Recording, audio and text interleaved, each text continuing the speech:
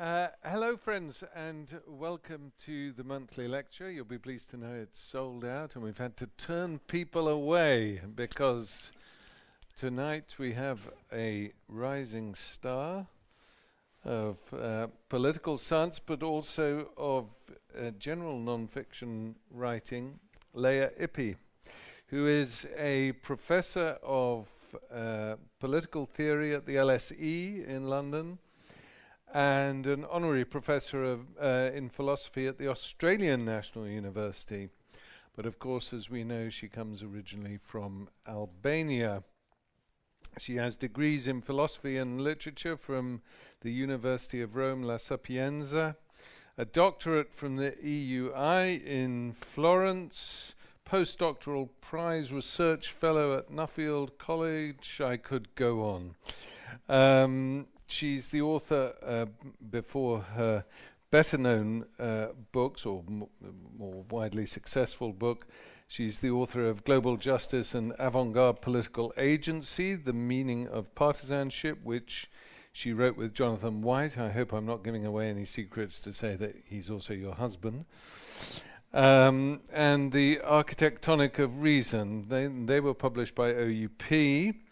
But her most recent book is the one which uh, brought Lea to a very uh, wide public, uh, public. It was called Free Coming of Age at the End of History, about the seven years before and the seven years after the collapse of communism in Albania, um, which I uh, happened to review for the TLS, for the Times Literary Supplement. And as I was reading it, I was absolutely astonished because she was describing early on in the book about the um, dismantling and destruction of the Stalin statue in Durrës in Albania at exactly the same time that I was watching the Stalin statue in Tirana being pulled down uh, in a very uh, dramatic set of events. This was a really, really uh, terrific and illuminating book um, about uh, the, the, which uh, straddles that the the pivot of the revolution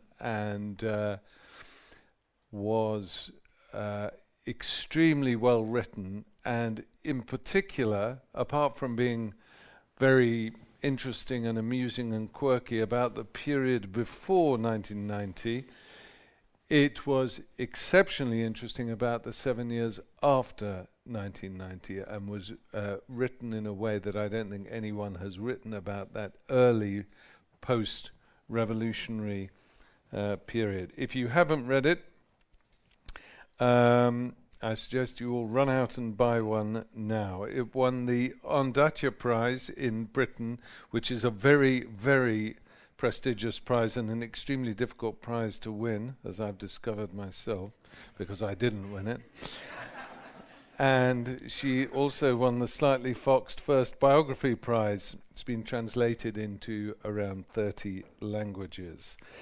Um, Lea is now uh, in the middle of, or coming to the end of, uh, writing a new book, and this will form part of uh, today's lecture on historical injustice, reconciliation, and the role of aesthetic education.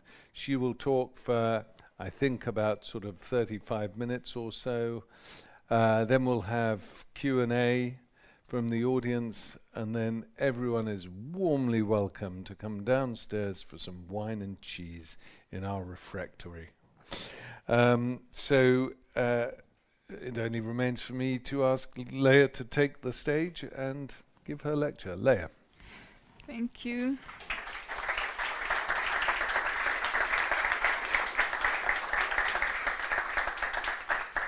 Thank you very much um, to the IWM for hosting me here and to all of you for coming. Beautiful world, where are you? asks Schiller in one of his most famous poems called The Gods of Greece. And the main philosophical themes of the poem, which I'm not going to read, are the same that I'm going to discuss tonight morality, human nature, alienation, and reconciliation. Schiller and I both write in the aftermath of two revolutions. In his case, the French Revolution of 1789.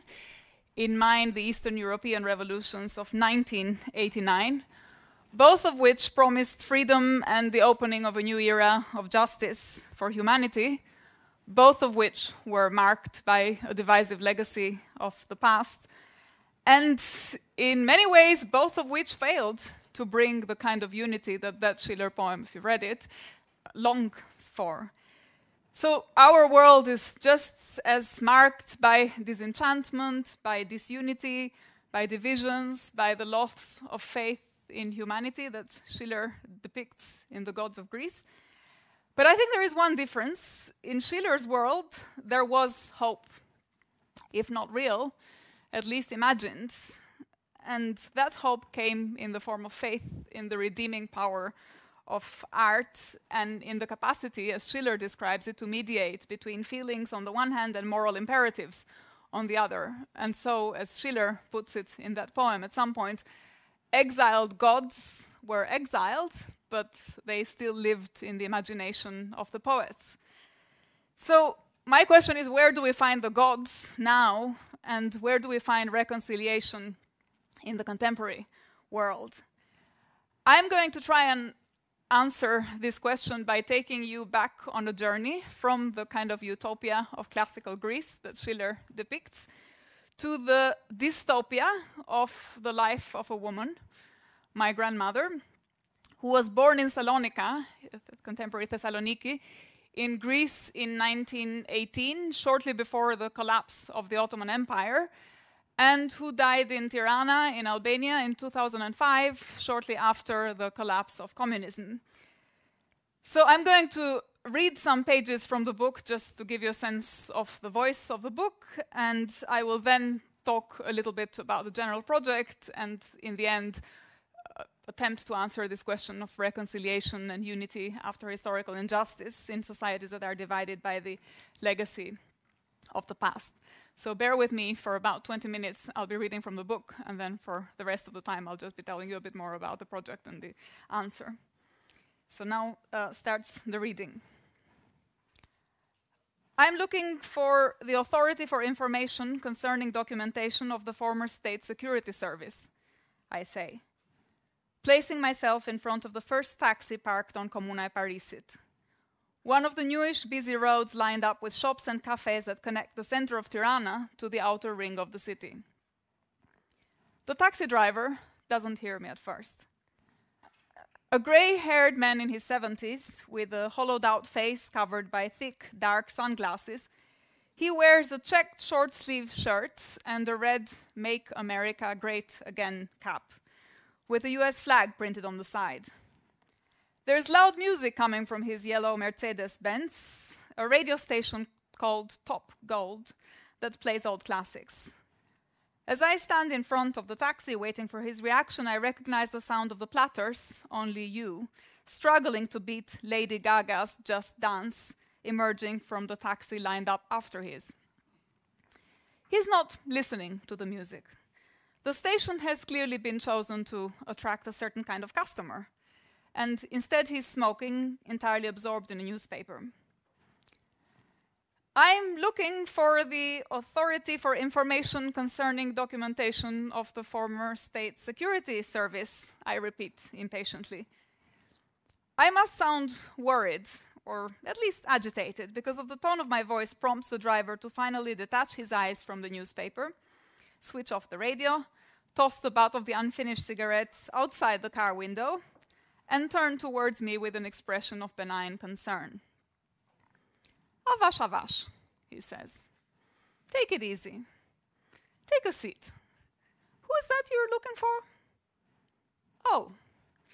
I mutter something, confused by the fact that he's not recognized the official name of my destination. I'm looking for the office with all the files, you know, the former Sigurimi archives. You're not from here, right? he asks once the car engines are on and we're making our way through the busy morning traffic. I wonder what that gave away. Well, you said you're going to the former Sigurimi archives. That's foreigners' talk. There are no formers here, it's all the same people. My kids, they live in Florida, they come once a year, and they all say it looks different. Nonsense. This has changed, though, I say, hasn't it? And I point at the interminable line of cars stuck in front of a traffic light just before turning onto Four Heroes Street. They can't drive them, he replies instantly, with the evident satisfaction of someone prepared to crush such a superficial objection. Would be better if they didn't have any cars, wouldn't it? Other things have changed too, I suggest, more to see how he will handle the next objection. Look at all those new trees planted. Ha, you're just like my daughter, he exclaims. She lives in Florida, and she falls in love with the lights and the trees whenever she comes. First they demolished them, now they're planting them. It's all the same, nothing's changed, it's all the same people. Even the trees know it. I'm still thinking about people's favorite game here. Is it the same? Is it different? When he brakes suddenly, and from the car's open window curses the other drivers on the road trying to force a U turn. We've just passed before Ethem Bey Mosque, curved left into George W. Bush Street, and we're about to reach the Jeanne d'Arc Boulevard, when he decides to change route. I just remembered something, he explains. You want to go to the new office, right? The one where they recently moved to. They got a grant from the Swedish embassy or the Danish embassy. I shrug. Not sure, I say, pulling out my phone to double check the address. I have here Unit 4, Skanderbeg Military Garrison. I'm starting to find reassuring the formality of the email, as well as the fact that each time I look at it, the content hasn't changed. Come for an appointment on Tuesday, bring an ID, ensure the fee has been paid in advance. I particularly appreciate going through the list of my family members my father, my grandmother, my grandfather, the way the list of names is offered to me, like some sort of meal deal, in a spirit of commercial detachment that is just what I need at this stage. Nothing to feel emotional about, just the secret lives of random group of people to whom I just happened to be assigned at birth. Like specific items of food are assigned a discount. He nods with confidence. Yeah, yeah, that's the one. Are you going there for work or for fun? to dig into my grandmother's past, I think. To talk to her, to finally bury her, to feel less guilty, to discover how those wartime photos of her, which we thought were lost forever, seem to appear on a random guy's viral Facebook post, to find the truth, to see if my father was a spy, to write a book, to bury him, to see if it's all history or if it's not history yet. Maybe I simply must go without knowing why, to make myself feel better feel worse or feel the same?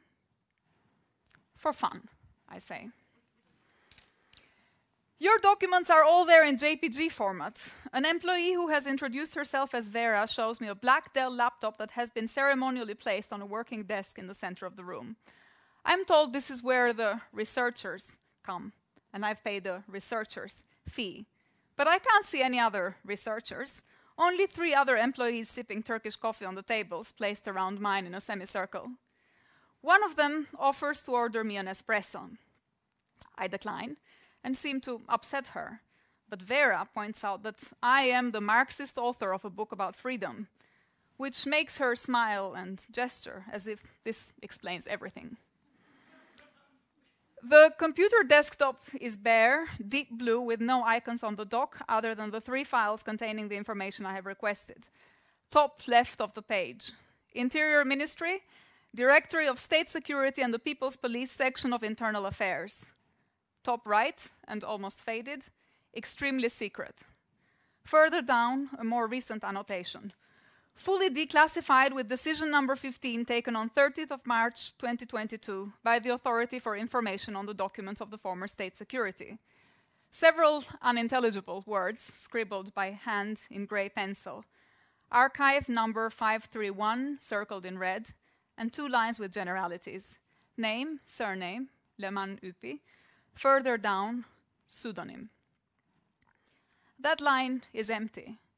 And though I can't be entirely certain of its meaning, I can feel myself slightly relieved. Then immediately after, I start to feel cold and my teeth start chattering. Is there air conditioning? I ask the employees. It's so cold here. They look at me as if the question were rhetorical, a statement uttered mainly out of a desire to communicate something, simply to break the silence. Vera makes a clicking sound with her tongue. It was on this morning, she replies apologetically. But we turned it off because the director said we need to save energy now that we're at war. I must look perplexed. We're in NATO, she corrects herself. That's the same thing. I nod in sign of understanding, then return to the page. My attention is caught by a single word that appears in the middle and has been underlined three times Greek. It makes no sense, and I continue to scroll until the same word appears again in the next page, where other generalities are recorded. Citizenship, Greek. Name and surname, Leman Ypi. Place of birth, Salonika. Ethnicity, Albanian. Profession, employee of the Education Ministry, religion, Muslim, registered 29th December 1952, name of referent who performed the registration, Mayor Hayreddin Chinami, reason for the registration, suspected as foreign agent. On page 6 of the file, the strange word, Greek, recurs again. Leman Ypi, born in Salonika, of Greek citizenship. A series of handwritten instructions also appear. Check if someone with this name and Greek citizenship is registered in file collection 1 and file collection 2, followed by another handwritten note, there is nothing here, with here underlined in red pencil. Citizenship, Greek. Greek citizenship. I repeat to myself, then scroll back to the first page with the doodle where the word Greek is followed by proposal to categorize as 2b. It's kind of bizarre to think of my grandmother as Greek. She spoke French to me most of the time, and although I knew she was born in Salonika, I hardly thought of Salonika as a place, let alone a Greek city. She always referred to it as Salonique la Magnifique. But Salonique la Magnifique has always been for me a sight of the mind rather than location on earth. Not space, but time. A time lost before I even knew it or a gallery of mental images, the painting of a stern old man with deep blue eyes, faded photograph in black and white capturing people I did not know and with whom casual resemblances of people I did know were pointed out. And most of the time, Salonique La Magnifique was a combination of sounds from French, Turkish, Ladino, Italian, Spanish, Albanian, and yes, Greek, but only in part. I keep reading the word Greek, and it's hard to associate it to my grandmother. Instead, my mind wanders back to my first exam at university in Rome, and the wobbly chair on which I was sitting then too, staring at the open page of metaphysics book Zeta, struggling with a question. Signorina, can you remember what Aristotle's term for essence in Greek is? The essence of an entity is what makes that entity be what it is. But how does Aristotle define it exactly? An embarrassing silence follows. Come on, Signorina, everyone knows this. We covered it in class. And surely you also know it from your last year in high school. It seems inappropriate to point out that in my country, in my last year of high school, there was a war and everything was shut. And that we never really studied Aristotle. Back then, Aristotle was just the name of my next door Greek Orthodox neighbor. If I really had to think of someone famous called Aristotle, only the second husband of Jackie Kennedy would occur. I roll my eyes, stare outside the window, and decide to count the tiles on the floor. I think that if I fail, the worst that can happen is that I will lose my scholarship and return to where I came from. Come on, signorina. The Greek term for essence is toti en einai, what it is to be, which must be corrected, the examiner insists, to what it was to be since the present tense has crept in later date translations and misled entire generations of Aristotle commentators. Right, I say. It's important, the examiner insists. So was the husband of Jackie Kennedy, I think. Now it turns out that my grandmother's Toti en Einai is also in her past. It turns out her essence, her what it is, or was to be, is Greek. I continue to scroll down the file and up again, but at this point my brain has decided to play a trick on me. I'm only able to read the sentences where the term Greek appears. The rest is entirely unintelligible. It might as well have been written in the language of Aristotle. There it is again, at the top of page 7. On the basis of evidence concerning oppositional activity against the people, we propose to categorize 2b and to prepare a preliminary investigation on citizen Leman Ypi, born in Salonika, of Albanian ethnicity and Greek citizenship. You always speak Greek when you have a secret. I must have been five or six the first time I uttered those words in anger.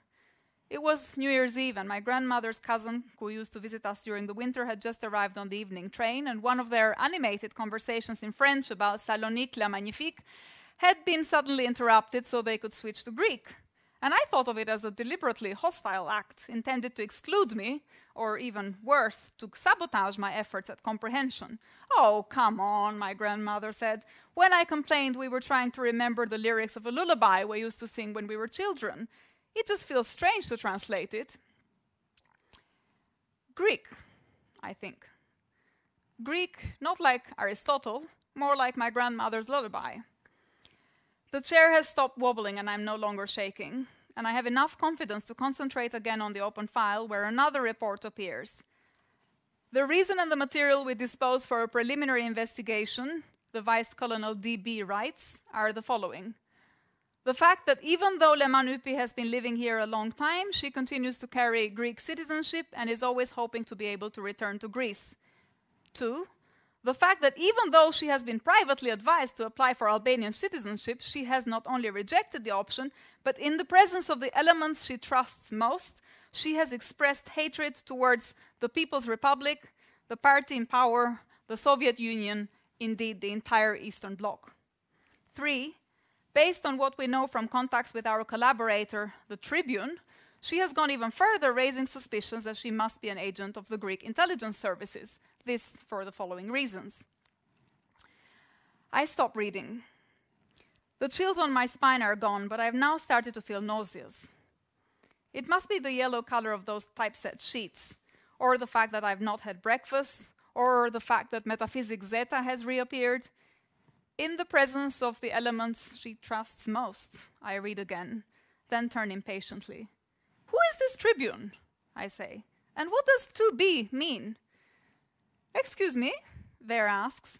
There's someone called the Tribune mentioned here who has made allegations that my grandmother was a Greek spy. I'm not sure this file is hers.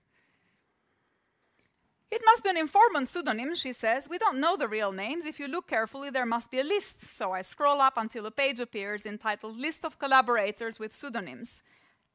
The Tribune, collaborator 1. White Chewing Gum, collaborator 2. Wind of March, collaborator 3. The employees laugh. They're all like that, they say, the pseudonyms of collaborators. One wonders who came up with them.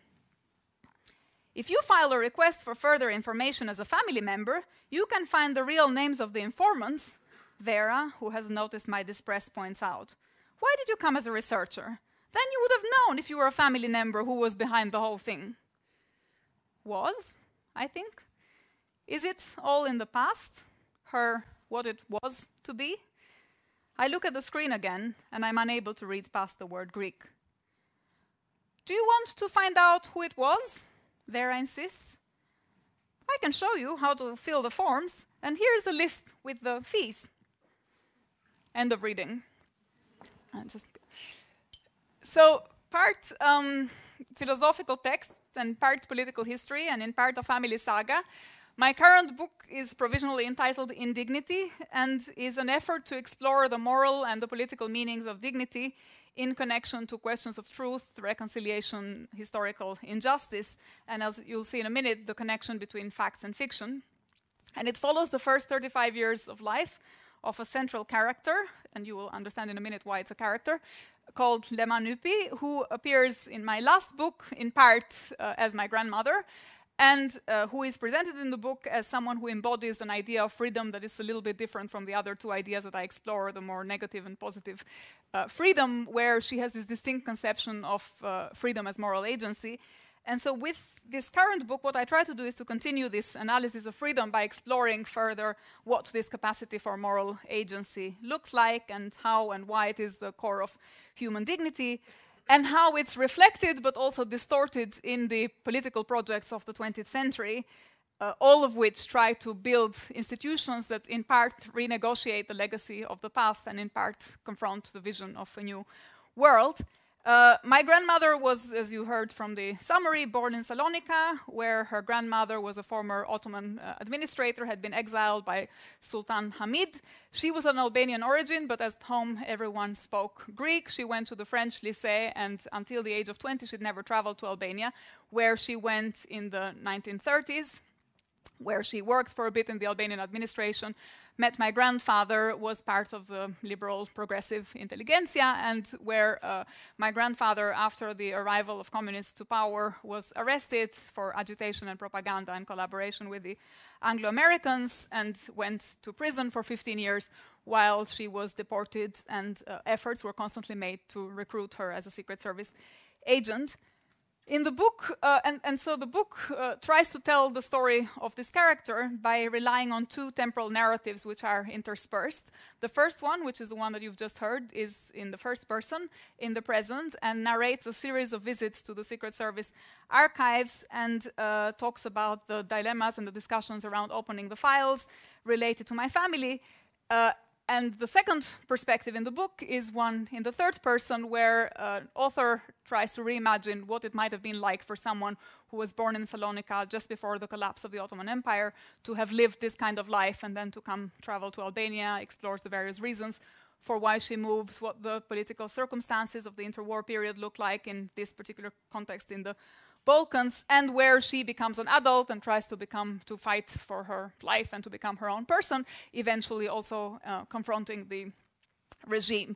So, in the first person narrative, the life of Leman is traced by looking at the depositions of the people who are spying on her, mainly. Uh, so it starts with this visit to the Secret Service archives, but then really looks at what was being said about her in the files. And uh, in the second perspective, it's reconstructed with the help of other historical documents like letters, memoirs, newspaper articles of the period's government documents, diaries, and so on.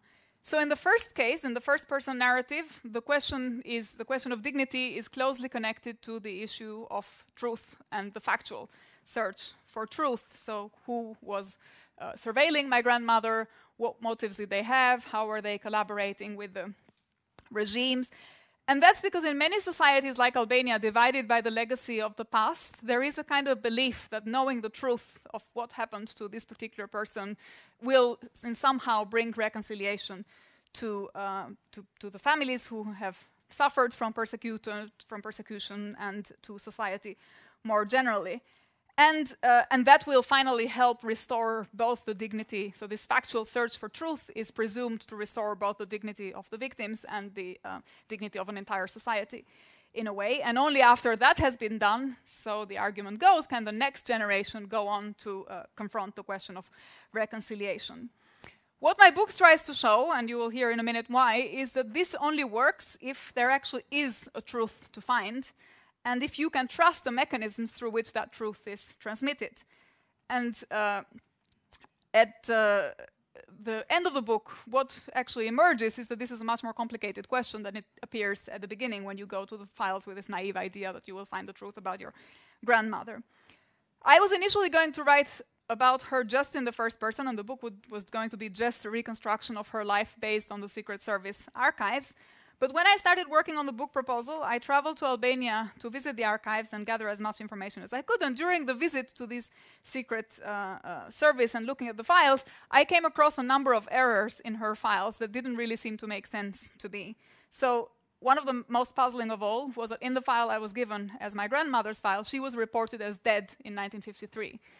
And uh, this made no sense because my grandmother died, as I said earlier, in 2005. And uh, when I asked the experts about this, they said, oh, you know, this is very common. It happens all the time. Um, sometimes uh, people inserted fake death certificates to save someone from being surveilled. So maybe she had a family member who worked close to the uh, people who were working for the Secret Services, and so he just introduced a fake death certificate. Sometimes just things, errors slip. And uh, my mother said that she uh, believed that she, my grandmother, had a cousin who was very close to Enver Hoxha, the then communist dictator, and so maybe to try and save her, he had also inserted this fake death certificate. In the end, I started doing uh, the, the whole process was digging more and digging more and trying to find out where not just this in this inaccuracy, but other inaccuracies. Her husband was reported as dead during the war at one point. Um, a number of things didn't quite match up with her descriptions. So I discovered, doing more research, that another Leman Ypi, who was born in the same city, in Salonika, in the same period, came from the same family background, so relatively wealthy, affluent Ottoman elites, had been placed under surveillance at exactly the same time.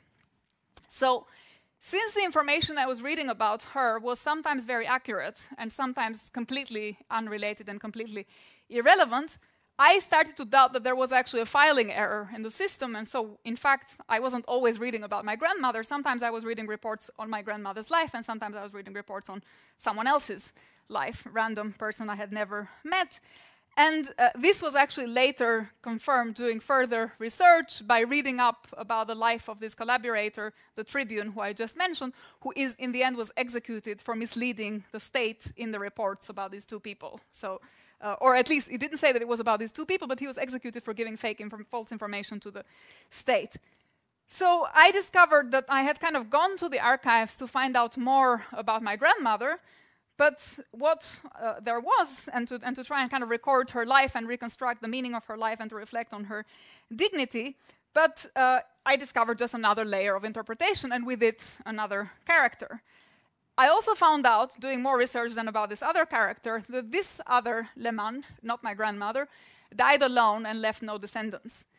So she had no descendants who could record her life or find the truth about her. And uh, she, there was no one who, in a way, could reflect on the meaning of her life and on her dignity. So I decided that uh, since I thought her life also deserved to be recorded somehow, I decided to kind of adopt her and to imagine what her life would have been like under these circumstances, moving, making these same transitions, moving from the collapse of empire to interwar Albanian. And so I thought that since the characters were similar enough to confuse the spies, I would absorb that confusion in the manuscript, in the book, and uh, blur the characters that I found in the files in the story of the book so that in the end, instead of having to choose on whether the book was more facts or more fiction, it would actually be a way of thematizing the relationship between facts and fiction and history and imagination in the case of historical injustice. So instead of, uh, as I say, using, uh, trying to sort out the life of one character from the life of another, I would use this incident as a way of explicitly thematizing the theme of dignity in its connection to the question of um, truth. And so I try and find a way through the book of tracing continuities between literary imagination and historical factual reconstruction. So, in a way, uh, and this leads me now to going back to where I started with the gods of Greece and, and the Schiller theme. This kind of hybrid character that is at the center of my book, uh, who is part fictional and part not, is an interesting figure through which to explore the themes of historical injustice and reconciliation, but also this more general question of dignity that Schiller raises in The Gods of Greece and how to engage with division um, and conflict in the present and where to look for reconciliation the life of both of these characters, or the life of this hybrid character, is one of struggling and suffering, and both of them try to assert their moral agency in these complicated uh, circumstances of the 20th century. And their morality in both cases is revealed in a sort of human struggle to, uh, to, to come to terms with external constraints and with their efforts to kind of resist power and ideology. And uh, both of the, those lives, in a way, show that these struggles have costs and come with very little reward, except for the reward of someone who reconstructs that life and tries to explain what the meaning of it is ultimately. But the existence of that struggle, in a way, suggests that reason can afford to elevate itself over empirical circumstances and also find some power to fight manipulation, ideology, and, and propaganda. And so uh, my dilemma when I started the book was the same as Schiller. How do you find reconciliation in a world that is still pervaded by uh, ideology, propaganda, manipulation, where you still can't trust the mechanisms of uh, history transmission and the ways in which we tell the truth and the various interpretations about um, life, and uh, through what mechanisms can moral ideals provide political reorientation. I think Schiller, in the aftermath of the French Revolution, saw something that is still with us today, which is that, as I say, the interpretation of facts is always the result of ideological manipulation and vulnerable to propaganda. And what we know is always, what we access is always someone's uh, propaganda. So, where do you find hope? And what the book tries to do is go back to the theme of the gods of Greek and to suggest that actually maybe there was something to Schiller as a kind of forward looking vision of what we should all be aspiring to do, which is to turn to art and to the power of imagination in reorienting human beings um, towards morality. And so, in the end, I conclude the book with this reflection where I say, well, does it really matter who this character that you've been all reading about is? What matters aren't the facts about a specific person, but the kind of moral light that they shed on the world and the orientation that they provide. And in that sense, a generic character who is half real and half reconstructed with the help of someone's imagination is still a particular that connects readers and the public to a kind of universal that is in all of us, which is what Schiller was trying to indicate in that uh, poem. And so reconciliation isn't really about reaching the end of a process, but finding a way of engaging with the conflicts of the present. And it's not always about finding a truth that is given to us out there, just ready to be unearthed, but trying to reimagine our political and moral and social relations with others and using that reimagining to criticize our reconstruction of the past. So, just to wrap up, my answer in the end is the same as Schiller's one. Uh, Schiller says, and I quote, the instrument of political education is art because art tries to be free from what is established by human convention. And so, if only, uh, if Schiller is right, and only in art can one free oneself from propaganda, from manipulation, from ideology, from biased ways of telling stories and the truth, it makes sense to think about an effort to reconstruct someone's life, including someone's grandmother's life, including someone's life as given by the Secret Service archives, and to reflect on the meaning of their dignity, not just with the help of the historical truth about that person, but also with a kind of vindication of their humanity through a combination of also literature and philosophy. So that's it.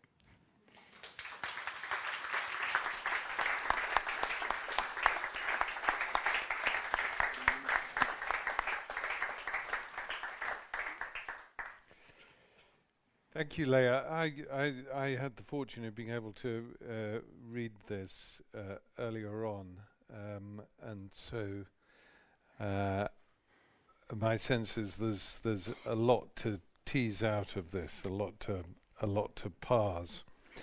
Um, I was struck by your sense at the beginning that Schiller was left with a sense of hope, which you described uh, why, why, at the end. But the implication was when you were talking about Schiller, who was famously became very, very depressed about the French Revolution, uh, having initially having initially welcomed it, um, that uh, uh, that he found in art and its educative um, capacity uh, a way forward, a way for the for the future. Now, at the beginning of the talk, you seem to suggest that we don't have that hope the end of the talk, you were trying to suggest to us that actually there is a way of finding that hope.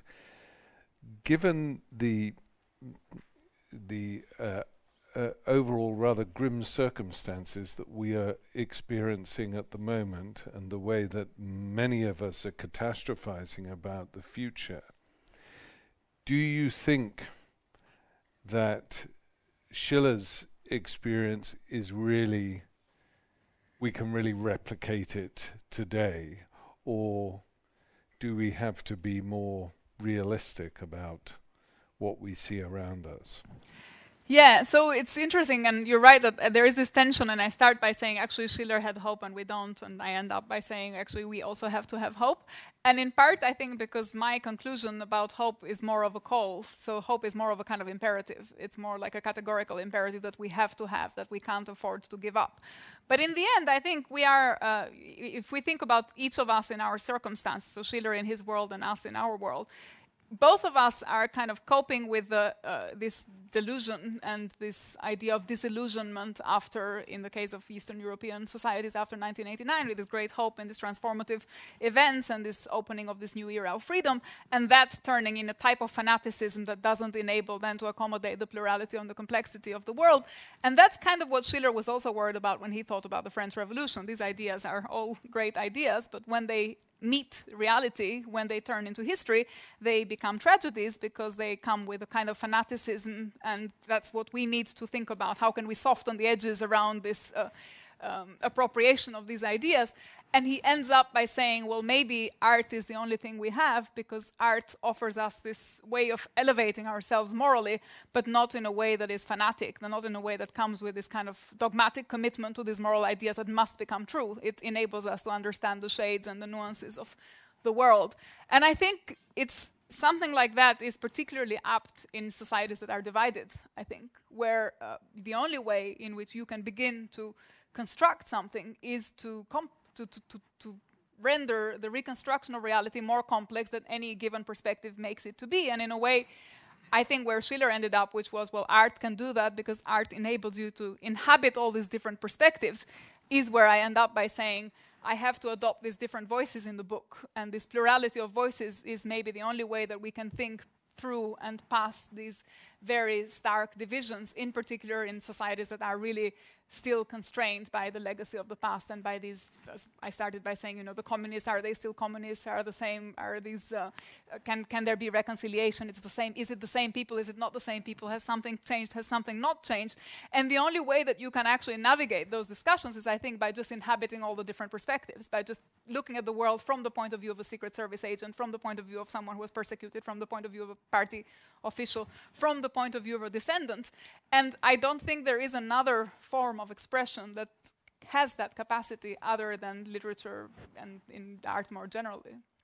So, in terms of your of your writing and how you how you approached uh, the writing, and I was particularly interested in this, up until the point that you discovered that there was a second Leman Ypi, um, whose experience was parallel but entirely different, and yet the same. Uh, were you struggling with how to with how to write the book and and and address that issue of complexity? Was the discovery of the second Leman Ypi a sort of uh, light bulb going off in terms of how you were going to construct the, the, book because as you describe it there it turns into a very different book at that moment mm. Yeah it was both liberating and constraining and, and disappointing it was both exhilarating and disappointing it was very disappointing because when you think you're reading about your grandmother and then you suddenly think well actually it's not my grandmother and then it confirm it gets confirmed that it's not your grandmother and you're reading someone else there is an ethical question that has to do with how do you approach someone's life. This is very personal, detailed information that concerns that someone's day-to-day movements, what they said to their colleagues, and okay, the person is dead. But there is still an ethical question of how you handle the dead and you know how you talk about them. And especially for the book that for a book that is about dignity, it's a very important question. How do you treat your material in a dignified way? And uh, and in fact, you know, if the dead didn't have dignity, you wouldn't have that kind of book. It's because we think that dead people have dignity that you can actually have this kind of project. It makes sense. So in, in terms of the general project, it was both, as I say, difficult, but liberating in another way, because before that I was trying to just put together all the different pieces of information about my grandmother's life and was disciplined by that. Whereas after, when I thought, okay, now I have this generic character, so what I need to make sure is that the generics are in place. And so when I say in my historical chapters. She was walking in Thessaloniki in 1931 and stopped for a cafe and ate this ice cream.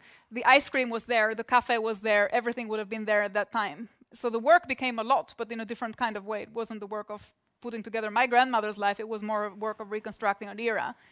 And so then the book gave me more, this discovery gave me more methodological clarity because it enabled me to approach the writing process with this very strict uh, disciplining principle, which was I will write, if I say there's this road, the road really needs to have been there and would have been called that at that time, and this cafe would have been there, even though I don't actually know who the particular characters that ended up going to that cafe, but the conversations would have been the ones that they would have had, and so on. So it became a different kind of uh, book as I say, easier in one way, and maybe personally also a little bit more liberating because you don't have this weight of your ancestors all the time, and you're, you're, thinking about someone who is more detached, but more difficult, I guess, in a more research way because it becomes the work of the historians. And as the historians here know, it's a lot of work and sometimes very hard to make these decisions on what do I keep, what do I include, what do I exclude, and you get lost and you have all these false tracks. So yes, go down rabbit holes, I think is the phrase. Um, uh, you, I'm not sure if you argued it there, but you argued in the version that I, I read about uh, what is the essence of freedom. And you conclude that freedom is an inner freedom. It's, it's about what you feel and what you think, notwithstanding external con- constraints. But isn't that, as you describe it, and knock me down if you will, isn't that a uh, call in some respects to inactivity mm. that as long as you retain your own sense of your dignity mm. and and your freedom of thought you don't have to engage with with the outside world and project it into the outside world yeah, I think there is that risk, and uh, and the way I try to do it in the book, there is another character who I didn't have time to talk about, who is my grandmother's aunt, who uh, ha has a similar view of freedom, but is more of a kind of classical Stoic, and she commits suicide because for the Stoics, suicide is the paradigmatic uh, instance of freedom exercise. You just kill yourself, and you have the and and there is a whole critique of the, in the book of of that. Um, mode of manifesting your internal freedom, which is in some ways detached from responsibility and divorced from how you think about your relationship to other people. I don't think in the end, uh, I don't think that there is a kind of demonstration of what dignity consists, and that's why the book is called Indignity rather than Dignity, because what you have is actually constant exposures to indignity and constant attempts to undermine someone's dignity, and all you see is the struggle. And in a way, I, what I think now is that uh, yes, there is a risk that this inner freedom becomes uh, indifference to the world or apathy, or but it doesn't have to be that. It all depends on how you think about social relations. And the project of the book, more generally, is to actually have a more uh, more nuanced political understanding of dignity, and in fact, to try and think about what does dignity mean, both in the person but also in a society as it tries to claim autonomy and independence in this context of these new states emerging from the collapse of the empire And so there's a, this, the discussion around dignity is conducted at many different levels. Some are more personal, some are more political, some are more micro, some are more macro. And I don't think there is a kind of overarching answer that is in my Kant book, but not in this one. so, uh, and, and, so this, I think what the reader is left with is more the sense of it's more, the, the dignity is manifested more in the attempt to be a moral agent and not so much in the outcome and in the kind of guaranteed conclusion. Okay, now before I hand it over to the audience, I've got a very quick, simple question. Was your father a spy? not, not, not, nothing has come out of, from the files that I have seen, but I'm not, you know, I don't, I can't say no because I haven't seen all the files, and, and we, and we never know the whole truth. So. it's very true. Yeah. Um, let me throw it open to the audience. Anyone has questions for Lea? Uh, Michael. To lead off, but um, I've got no difficulty at all um, identifying art as a source of hope. I mean, I'm with you 100%. But there is a huge tradition of which you'll be aware, and I think um, we've already touched upon it, that regards this as a kind of passive aestheticism that abandons the struggle to change the world collectively for the sake of hopeful ex- individual experiences.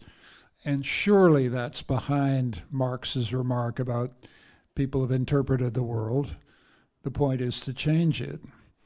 I mean, to what extent are you walking away from that tradition and and essentially saying you're with Schiller in this one? I, am trying to figure out how you relate to this tradition, um, which I found a great. I've had to struggle with because I'm I'm on the other side. I'm with I'm with art, but the the enemies of art have been the proponents of revolution, and they've had a very strong case.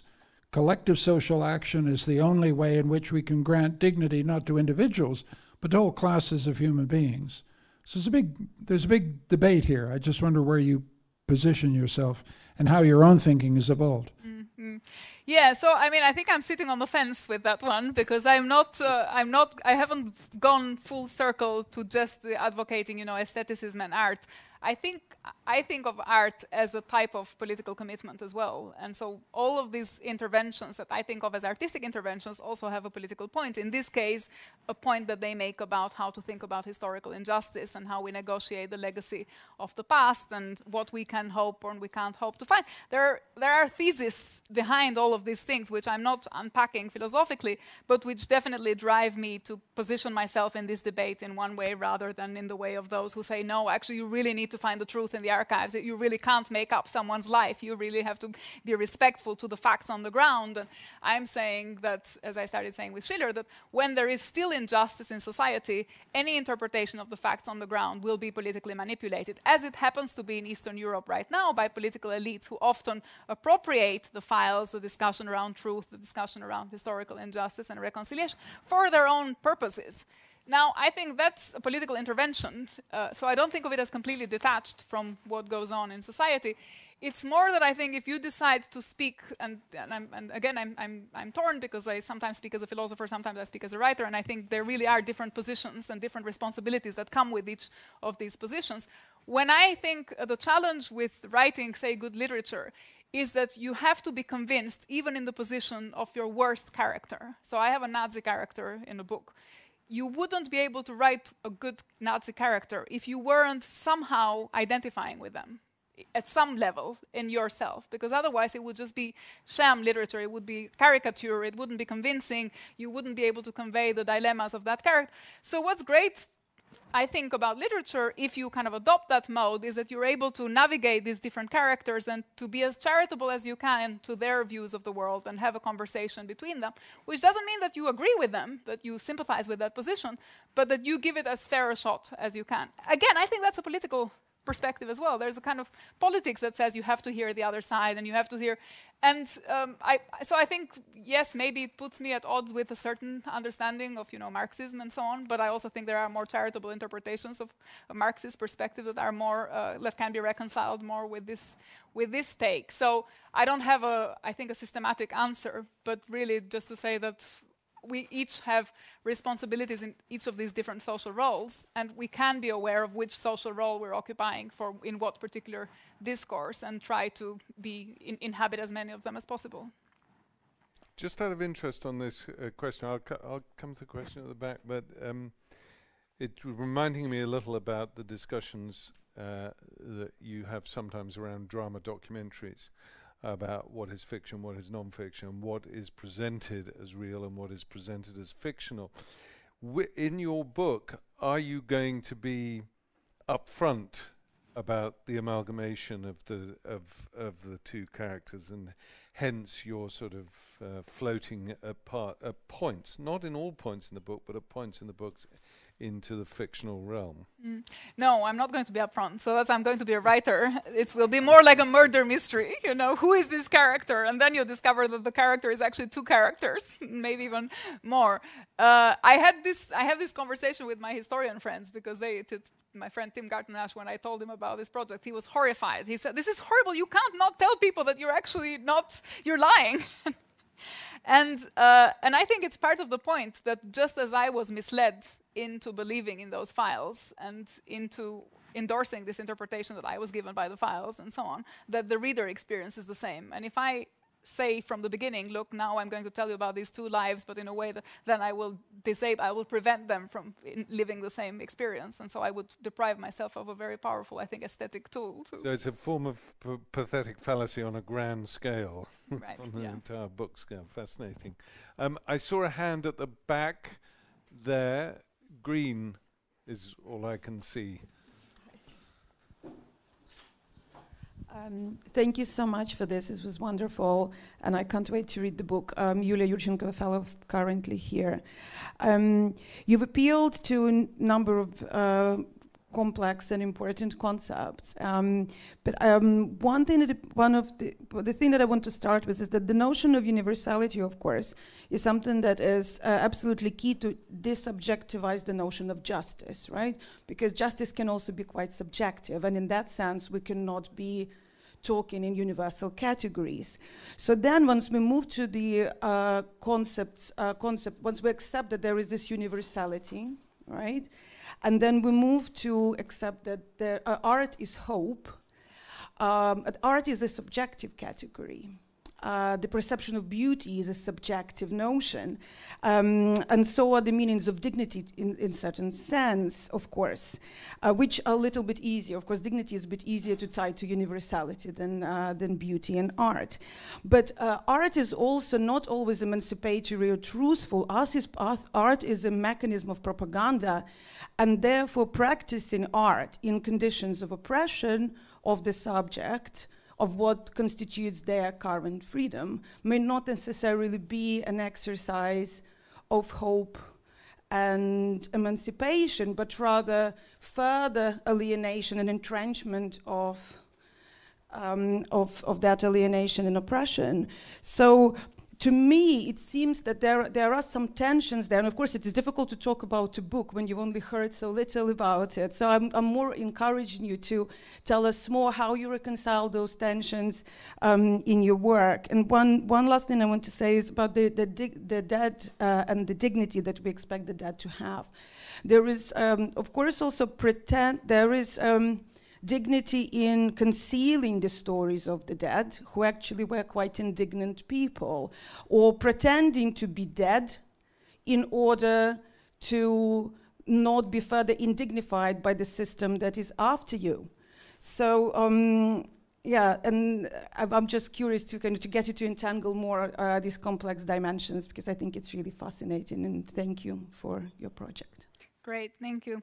So I'm going to start with the first question, and maybe with this question of aesthetic. And I will I, will say some things where I, I agree with you, and some things where I disagree.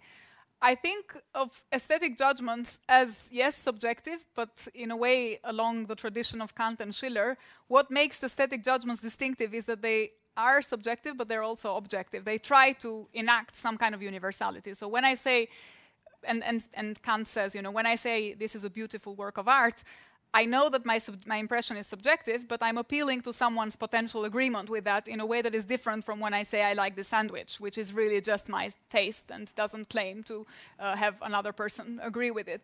So I think of art in this tradition, which says, yes, it is a subjective, aesthetic experience is a subjective experience, but what makes it appeal to a notion of communication and agreement and seek agreement on the side of the public is that there is a kind of universality underpinning it, which has to do with this interplay of feelings and reason in the, in the uh, exhibition of the work of art. So it's kind of long, complicated discussion, but just to say that, and that is exactly why Kant and then especially Schiller thought that that's what makes art able to elevate us morally, that it has this connection to moral ideals, but in a way that isn't, uh, that is a bit softer and, and is more subjective and more attentive to other people's experiences and aesthetic uh, inhabiting of these positions.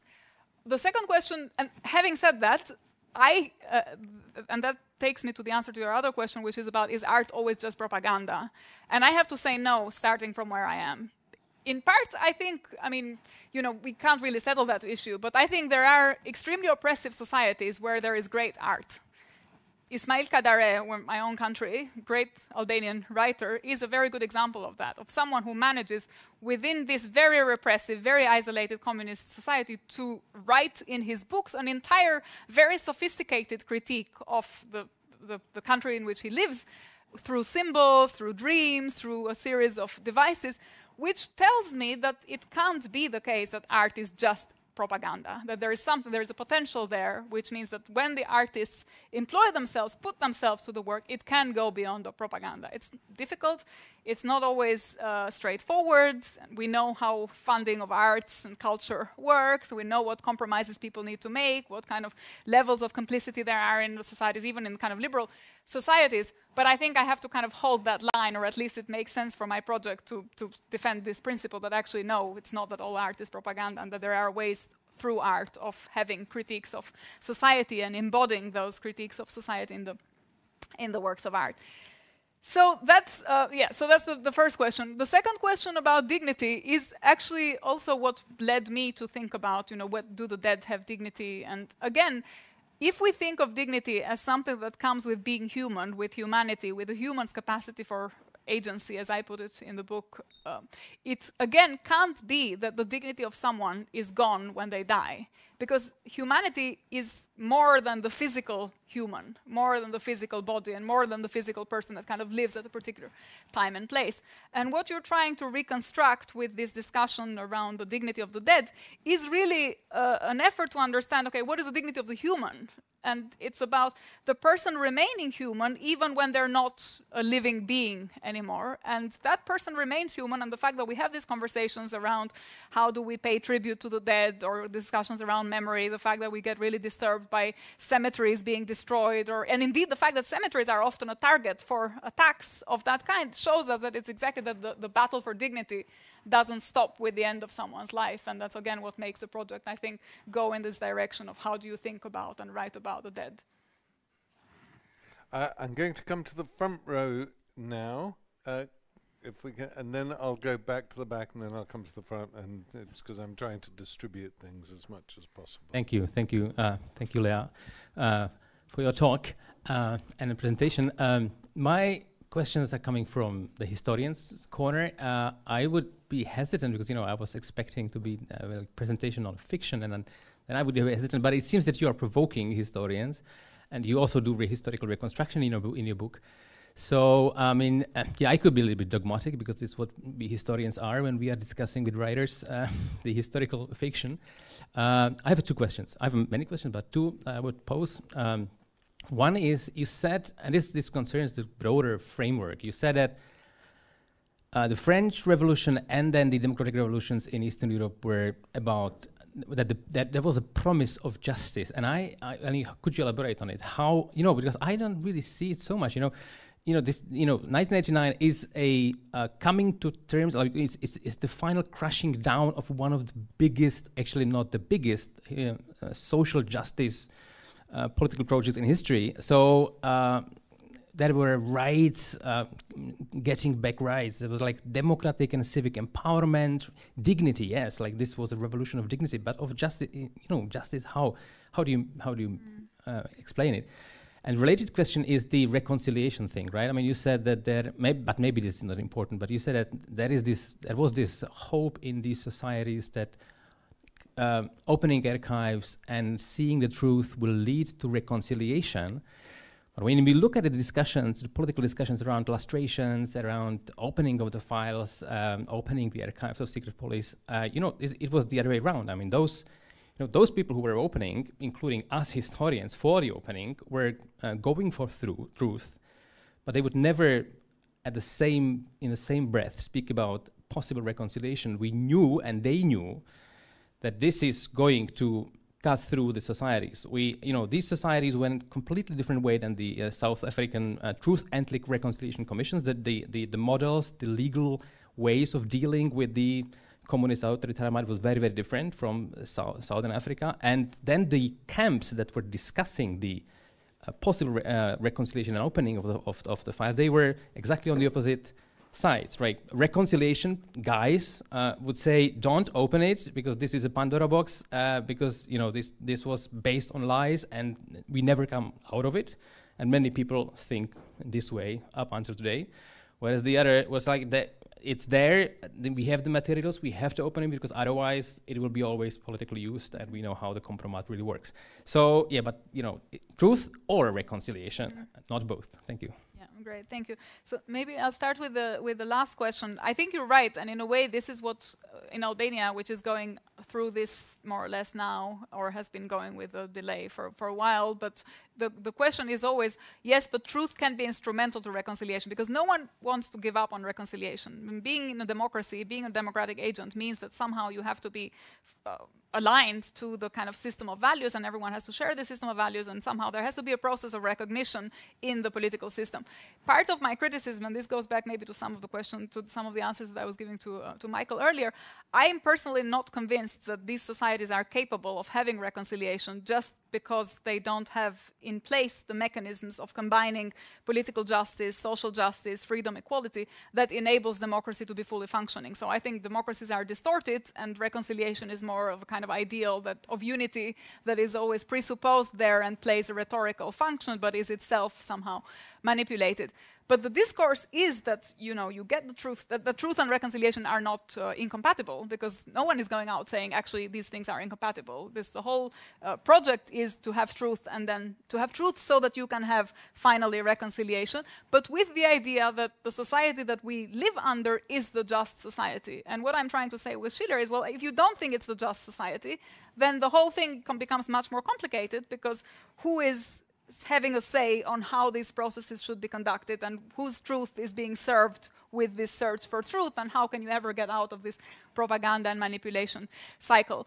On the, uh, on the first question, I think I have a slightly different reading because as I read the revolutions of 1989, I mean, I think you have a more of a kind of the, the reconstruction of these events that we, that was in some ways handed to us after the neoliberal turn of these societies, which really did end up with a kind of destruction of social justice and giving up on this idea that, um, that, there, that there can be something like political justice on the one hand, which we didn't have, but also social justice, some of which we did have.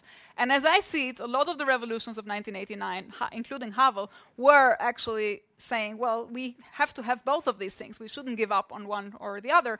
It's only afterwards, with the hindsight, that we see that we actually did give up on one and we just ended up with a kind of full neoliberal version. But I don't think in the moment of these movements, in, in, in the moment where they were promising, which is what I was talking about, the promise of this movement, in the moment of promise, there was this tension. I think the two things were seen as going alongside each other, that going for political justice wouldn't necessarily have to sacrifice uh, social justice it was more about freedom of thought, freedom of association, freedom of movement, manifestation, free speech, and so on. These were the kind of paradigmatic liberal freedoms, but it didn't have to mean that you also have to privatize and destroy childcare, whatever you had in place in the social welfare, whatever form of welfare uh, these societies had in place. And I don't think these movements ever saw themselves as we're going for political freedom and then we will also destroy uh, social justice. I think they thought, well, we can have both, and maybe they were wrong, but that's where I thought that, that where their promise was.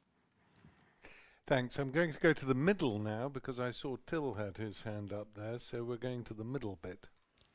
And then we'll go back to the back.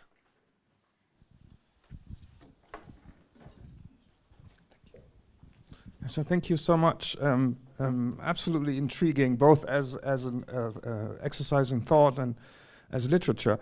Um, I'm I'm sort of struggling with Schiller and the beauty and the art because there's another way of uh, of thinking about aesthetics, and that is to think about sensory experiences more generally. So then the sublime and the beauty and the art comes into play, but it's just one form among many others of making these sensory experiences that I would think are fundamental to ideas about dignity, justice, freedom, equality. So then, what would happen if you, if you um, not necessarily abandon Schiller, but take, in, take into consideration a kind of thinking about aesthetics that comes out of a democratic tradition? Emerson, Whitman, Dewey, uh, Stanley Cavell, and e all of these people were trying to understand the centrality of sensory experiences in which art can play a fundamental role, art is experience, uh, but tie it to a much broader conception of even, even sort of social political transformation, uh, which may answer the, the concern that emphasizing art uh, is, is a kind of um, escapism in, in, in the contemporary world. But I mean, it, it's just a little suggestion that may help you sharpen your, your both the argument and the way you can frame the argument as literature. Mm. But I don't want to. I don't want to abandon Schiller and, and Kant and so on, and I don't want to abandon the link between art and morality, because I think what gives art its at least, I mean, not all of art. I'm not denying that there are forms of art that are purely expressive, purely sensory. The kind of art that I am interested in is politically committed art. And what roots it to politics is some notion of what is the right thing to do. And, that, and the answer that there is a way of thinking about right and wrong, that it isn't all subjective, that it doesn't all depend on just whatever people like, that there are, and so in, in that sense, it's much, it's different from the more postmodern takes of the kind of Cavell. I think art, when you press it politically, there's two ways it can go. It can either go Schiller and Kant, or it can go Nietzsche. And I'm reluctant to go with the Nietzschean answer because I think it comes with a very high political cost, and we actually know the cost. It comes with this kind of aestheticism that then ended up being a part of important um, experiences of the 20th century, not all of which were happy experiences. So I think I'm sort of, uh, when you press this pragmatic tradition that you mentioned, Dewey and so on, as I say, they, at some point you ha they have to jump. And I, I, decided that I've made the jump already, and I've jumped the kind of art and morality connection, and I'm not going back. but I'm very willing to be persuaded. It's just that I haven't heard an argument yet for giving up completely on this connection. And again, I want to emphasize, I'm not saying that all art should have to have some connection to politics and should be moral. There's lots of other kinds of arts that you can have about, you know, self-expression, narration. There's all other functions that it plays. But if you're doing it with a social purpose, then I think it's really hard to detach it completely from this tradition. Uh, uh, at the back, I see a hand there. Yep. Yeah, thank you so much. I really enjoyed that. Um, I um, I have a question about form, uh, and I'm asking this both as an artist and researcher. I'm a fellow here at IWM as well. Um, so, you um, would you say the experience of writing this book has been one of carving out a form for yourself? Because you talk at the beginning about the role that art and literature can play, but would you say it's an argument in as much about what actually academia and research at its best can be and find ways to produce knowledge in more expansive, deep, nuanced uh, ways that allow for all of this much more political conversation that brings us towards more liberation rather than harm. So yeah, thoughts on form would be great. Mm -hmm. Yeah, great. Thank you. So I think um, I, I, think of it as, as I said earlier, I have a kind of philosophy mode of writing and then a more literary mode of writing. And I think of them as tempering each other. So when you're writing as an academic from a philosophical uh, standpoint, you're usually starting out by saying, I have a thesis and I want to convince the audience that my thesis is right and all the objections are rubbish. And that is devastating for literature. If you start writing literary text like that, you just end up with basically yeah, in the worst forms of so socialist realism, basically, where you have an author that has a good guy and then there's the bad guys and just end up writing this caricature. So what you have to do, and this is where the form is really important, as I said, you have to inhabit all these different characters so that you can reproduce the dialogue and you can reproduce the tensions. But I think both of them have a role to play because I don't think literature by itself leads you to have an answer. And i sometimes want to have an answer when i'm writing. I want to know okay but what, where, where am i going? Where is this what is the purpose of my work? And philosophy gives me that purpose. On the other hand the risk is that philosophy gives you that purpose but it, re it renders you oblivious to how the, your purpose is experienced in a way and to the different tensions in society and and I think that's a loss as well. And in fact the whole the criticism of Schiller and of Kant of the French Revolution was exactly that that these revolutionaries they just went there and they were convinced of their ideas and they didn't care about how people experienced the uh, ideas and and ended up being a terrible mess. So I th I think of them as complementary and as I say I think of literary form as helping me ask questions and of philosophical form as helping me answer questions, and they do it differently and press against each other, but when they work, they, they, they also complement each other. You want to? Thank you very much. Uh, Thank you very much. I, I, must say I'm fascinated by your talk, and, and uh, like the gentleman before, I'm also very intrigued to it. And I, in the same vein, I I'm intrigued by the way you see art as a vehicle for morality. I, um, uh, apart from the fact that I think that the French Revolution is one of the best things that happened to the world, uh, really, I do. Um, I think also that that the art forms we were talking about uh, is very symptomatic. I mean, we were talking about German philosophers, and we were talking about uh, uh, authors in the Anglo-Saxon tradition. I think the and, and, you know it, the French and the Italian artists have an, a completely different take, less moralizing take on literature and philosophy. I mean, I, I mean Baudelaire and, and Verlaine and and other and the musicians. I think uh, with uh, with music we we enter an art form which is devoid of morality to a large extent. So you have given an answer in part already to say you are interested, and I take it it's very legitimate. You are interested in an art form that supports a certain form of morality, but um, since the, the topic, and I was very attracted by the topic, is can beauty save the world? Can, can't you imagine that there are other forms of beauties that can save us in different ways? Either individually, which I wouldn't call escapism necessarily, or collectively, and then we enter the realm of things like the French call a national novel that gives you identity and purpose beyond uh, daily political uh, struggles. Thank you. Yeah, thank you. So I'm, I think I don't see them as I mean, I, I, agree that there are different ways of approaching art, but I wouldn't say that they are divided by nationality in the way in which you've depicted them. I mean, there are a lot of, there are plenty of authors in the German tradition that would resist this, just as there are plenty of authors in the French tradition that would go with a more, and indeed, one of the champions of politically committed art is Jean-Paul Sartre. So there are a lot of, there is a lot of, so it goes both ways, and it, it, it travels both ways. My title was intentionally provocative, and it actually comes from this line in the in the in the Idiot in Dostoevsky, where he raises this question: Can beauty save the world? And uh, and, and in a way, that's also his challenge. And again, Dostoevsky wasn't necessarily someone who was writing art for political purposes, but was one of the most effective ones at conveying the spirit of an era. So I think it's not that you always have to intend to be moral or to be political or to be politically engaged to produce work that ends up playing that function. If you're aware of it, good. But in a way, the I think the magic of art is that you don't even have to have that. It can just somehow it's part of the creative process. And, uh, and as I say, I don't know that I have a, a, a, kind of definitive answer to that because these are all, I think, perfectly legitimate ways of expressing ourselves and depends on you know what which questions are more relevant and less relevant depends on who is posing the question and for what purpose. And and the other thing about art is that unlike philosophy it is very aware of the particularity of the position from which the questions are being raised.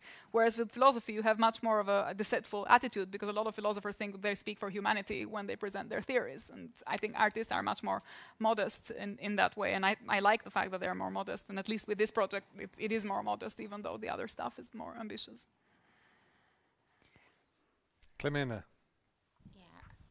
I thank you, thank you very much. I thought this was a really interesting talk, and I, I, thought it was fascinating that you started your initial project was to use the archives and write about a concrete person, your grandmother, and then you end up with fiction. So in a way, your the whole connection between ethics and art is already there in the structure of your writing. That fiction, in a way, is a better and more truthful way of reconstructing this era than actually if you stick concretely to the archives and the facts. And I find this very interesting. Now, I don't want to go on. There's been a lot of bashing of Schiller here, I feel. But I like to just say something I've been thinking uh, about quite a lot. I'm an art historian. And somehow I've always found that art is burdened with so much that is not even an aspect of what is it, it is trying to achieve. Mm. You know, and I think that in defense of Schiller and the Romantics, I think that they don't mean types of art, art which is politically engaged or art which is moral. The way I understand them, they mean something about the structure of the aesthetic experience itself. Like Schopenhauer talks about how art raises you above time and space and whatever. But I think what is interesting and relevant there is the connection between art and the idea of universalist project. Now, if beauty is meant to save the world, there are very different ways in which people think they may save the world through a revolution, through violence, through um, a moral project, and so on. So I think that art in itself is not necessarily connected to morality. You can make exactly the opposite case. So it seems to me that for your project, which I think is so interesting to go about it in this way, somewhere at the beginning or at the end, or I don't know where. There should be a way in which you really explain to readers like myself, because I definitely plan to read your book, what exactly you, how you understand the connection between art and ethics that you're drawing. And I think that a lot of the comments show that people keep wondering about that. You know, I, I, I'm working now on the Soviet avant-garde. These were people who in the first years after the revolution were very committed to the revolution. So when Michael said that he's on the side of artists rather than revolutionaries, very often they were the same people. Mayakovsky was a revolutionary and a great poet and artist. So yeah. So these are some thoughts. It's not really so much a question, but mm. probably you could tell me how you see the connection between art and uh, ethics. Mm. Yeah, I think actually in in a way that is similar to how you describe the aesthetic and the ethical experience. And so I I think I agree with you that what's the where you see the potential productive connection between the two is in the way in which the kind of ethical sorry the aesthetic experience connects to the ethical via the production or indeed the enjoyment of the works of art as Kant and Schiller wrote. I think, though, that something was lost in the kind of development of the cultural worlds, and I don't want to call it the postmodern turn and so on. The connection between art and ethics, which was taken for granted, even by you know by Schiller, by Kant, they didn't have to be politically engaged. They didn't have Schiller didn't have to be a politically engaged writer to reflect on the role of ethics for his writing. But I think at some point there was a disruption of that, and that's where I'm sort of trying, this is what I'm also trying to recover, which is not to say that art should be ex explicitly political and that you should write a work of art that is just an interpretation of a kind of political take on the world. But I think the, it needs to recover somehow this sense that actually the ethical is part of the aesthetic experience. And I think that was lost. It was there and it was taken for granted. And so when we say, well, it wasn't political, it wasn't political because it was implicitly always ethical. It stopped being ethical at some point when, you know, we know all the discussions both in, in history of art, in history of literature, with the kind of postmodern turn and so on. And I think something was lost at that point, which I feel maybe less in literature, certainly more in visual arts. And something like that I think is important and, and drives the project forward. Oh, just at that level, not really at the level of saying, well, it's not a political art in that it's not, it doesn't have an interpretation of the world on how we should solve historical injustice or how should there is that interpretation amongst many other things going on in the book, but the book's purpose is not just to give you that take on the world. It's more, it, it, it, it's more of a sense of conveying these different perspectives. Um, I think we've got time for one more question. I've seen hands at the back, right in the far back there, desperately trying to uh, make themselves felt, so they deserve. Thanks so much. I really enjoyed this. I'm Holly uh, Case, and I'm a fellow here. And uh, my question is about because I loved the framing that you had with uh, Schiller at the beginning, um, and how you talked about the 89s and the resonance between the two. And I was wondering, because uh, there's a tension somehow between this notion that there's a right, you know, that there's a resonant time, you know, that that this has its season, this kind of intervention, but also, you know, the universality, which implies a kind of trans-historical validity. And I was wondering if uh, you think, uh, you know, how you see art in light of this. You know, there's a right time for it to make its uh, its um, its intervention, especially in politics. Whereas in other times, the same approach might like be bad for politics, um, or uh, is the approach that you uh, speak of with the um, the uh, internal freedom? Do you see that as having a transhistorical validity or a kind of kairos type validity? Thank you. So yeah, I think the in the end the conception of freedom that I'm more persuaded by is transhistorical and is transcendental and is universal. So, but the particular, but the interpretations of it are historical. So there is a kind of ideal of of human moral human relations, but the interpretations are always concrete and always particular and always situated. And the tension always comes in the trying to understand the efforts that are made at interpreting these ideals and the types of society that they lead us to imagine or to fight or to criticize, and where we start with. So I think that having said that, I don't think that there is a particular time where you know art of, of, this kind or literature of this kind is more or less productive. I do think that there is something to be said for times of crisis where there is in general much less settled. So I, I, think in, it depends on how we think about history and philosophy of history, but I do think that I, I personally in favor of also talking about history in these more broad brushes and with this more philosophical perspective.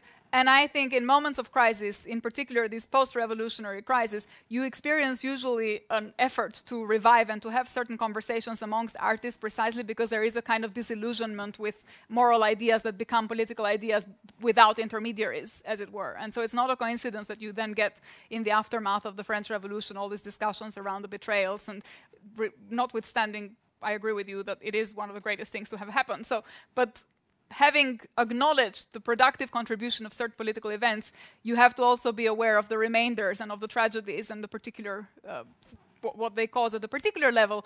And art, I think, captures those experiences maybe in a way that is more effective than philosophies or theories that to some extent have led people to this crisis and to this type of disillusionment. So I don't know. I mean, that's not. A, I'm not sure that I have a kind of settled answer to that. Just to say that maybe in moments of crisis, there may be something to be said for this type of conversation, and that might also explain why these types of conversations become uh, more prominent. And indeed, also, this is also just getting out of the kind of Western liberal societies. It's not a coincidence that you see when you think about decolonial struggles, or if you think about countries more at the kind of periphery of intellectual debates, often they discover thought through literature, through art. They don't have necessarily systems. I mean, Albania doesn't really have any systematic philosopher, but what you do get is ways in which philosophy is filtered through these experiences that are more artistic and more, more situated somehow. And I think that's maybe not a coincidence either.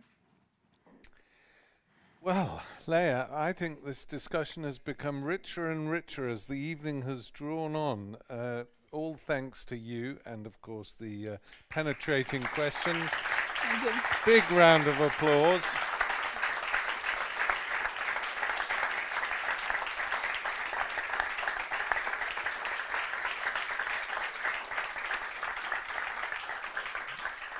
And because you have um, created this fertile environment, I think it's appropriate that we all go downstairs and continue the discussions over a glass of wine and some nibbles.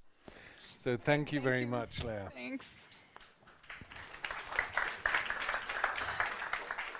That was great. Thank you.